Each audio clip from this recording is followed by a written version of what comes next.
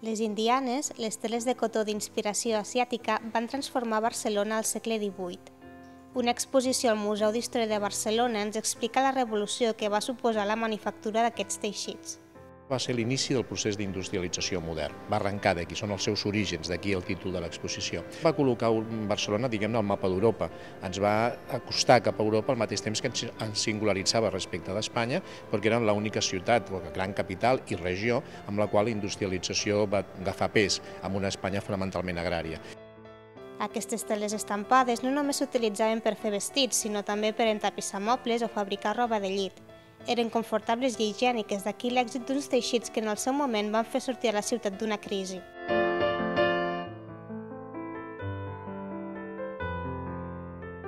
La moda rellença la ciutat i, per tant, té un paper fonamental en el, eh, en el segle XVIII a Barcelona i en el segle XIX. En moments en què moltes coses doncs, sembla que, que ens porten al, al desastre, hi ha capacitats, de vegades molt simples, sobretot el saber fer, la gent, el factor humà, que permeten tornar a reemprendre camí. Les manufactures van canviar el passatge de la ciutat, amb xemeneies que proliferaven pel barri de Sant Pere i el Raval i fins i tot més enllà d'unes muralles que tenien els dies comptats.